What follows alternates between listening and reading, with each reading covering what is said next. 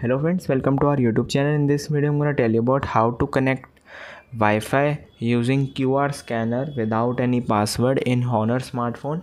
Before watching this video if you have not subscribed to our youtube channel then subscribe to it and like our video. So let's start friends. First you have to open your settings then click on wi-fi. Here you have to enable it. First you have to connect your wi-fi. Like this i show you 4li